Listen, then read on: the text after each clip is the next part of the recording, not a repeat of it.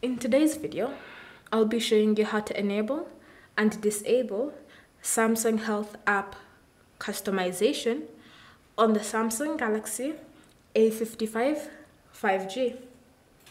Begin by opening the Settings app, then scroll and select General Management.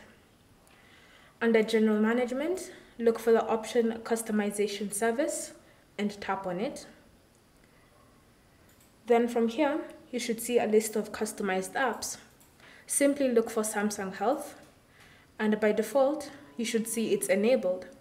To turn it off, tap on the toggle next to it, and it will be disabled. Alternatively, if you wish to come back and turn it on, tap on the toggle again, and it will be enabled.